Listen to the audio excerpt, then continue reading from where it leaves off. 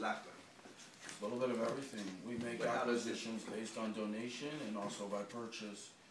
Um, you know, and each one goes through a, a process. Um, and that involves our other colleagues outside of, you know, different departments. It involves also a board of trustees. Uh, that's the sort of the final part of that process. Um, how can I be more specific? Oh, um, a procedure, is there a procedural, um, line that, uh, that is operated on? Um, or is just, um, you know, is, is there, uh, like a, a board, uh, for acquisition?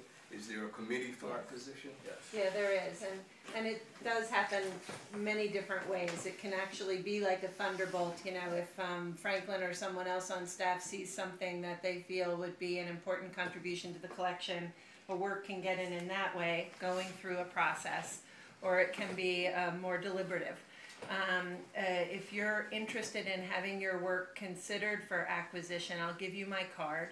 I'd be thrilled to have you reach out to us.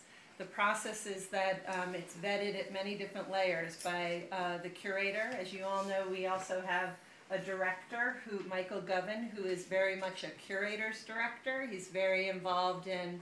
Not every director is as involved in the artistic program as Michael uh, chooses to be, and that's I think a great uh, advantage for LACMA and for Los Angeles. So the process is a curator um, would want to believe in the work, the director would want to believe in the work.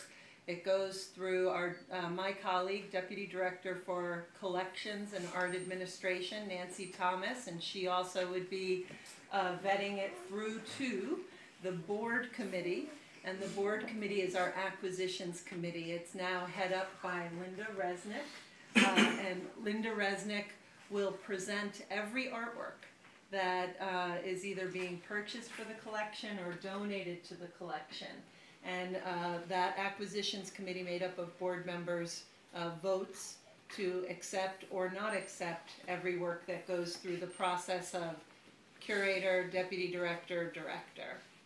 And if anybody wants to um, be considered for that process, um, I brought plenty of cards and I'm happy to walk you through that.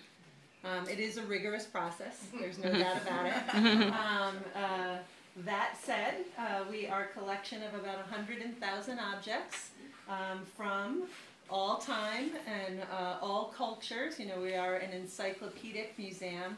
Um, uh, to just about, I think, a hundred thousand strong. Uh, I don't know. I don't know how many fall under your. Have you ever done that? Do you know? how And many there's around three thousand if you think about it in terms of department and as a contemporary department. But then we all, you know, contemporary also of course involves a prints and drawings department, a photography department, and those things are actually considered separately. So I'm not sure what the total is if you were to put all of them together, but I would imagine somewhere around ten thousand. I was going to say ten. Yeah. Question,